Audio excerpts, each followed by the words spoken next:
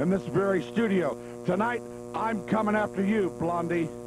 Bert Prentice, I am so sick and tired of hearing you run your mouth, saying all these nasty things about me. I'm an athlete. I'm here to entertain and to do my best in the ring. And every time that you cut me down and say bad things about me, it just makes you look like a fool. And as far as me being the queen of plastic surgery, this is 100% real. And I know, and everyone else knows, that I am much more of a woman than you could ever handle. I'm